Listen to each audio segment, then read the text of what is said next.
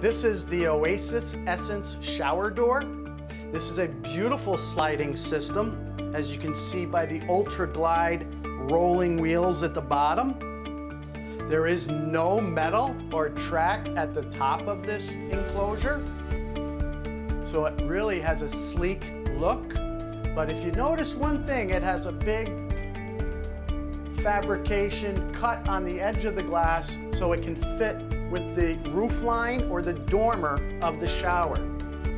The beautiful thing about the Oasis shower doors is everything is custom.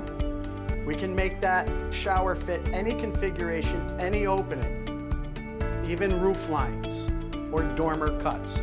This is the Oasis Essence sliding shower door.